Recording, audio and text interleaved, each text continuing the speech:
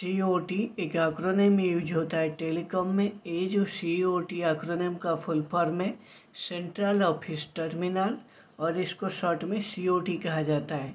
चलिए अभी जानते हैं जो सी ओ टी को कहाँ पे यूज़ किया जाता है।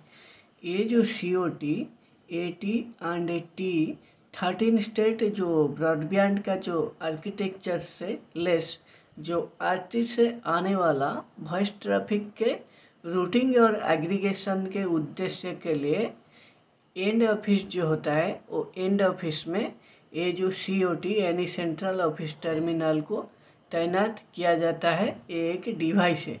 ये था सी ओ टी के बारे में जानकारी। वीडियो आपको अच्छा लगा तो ज़रूर एक लाइक करना। मैं आपसे मिलता हूँ नेक्स्ट वीडियो में और एक नया फुल फॉर्म का साथ।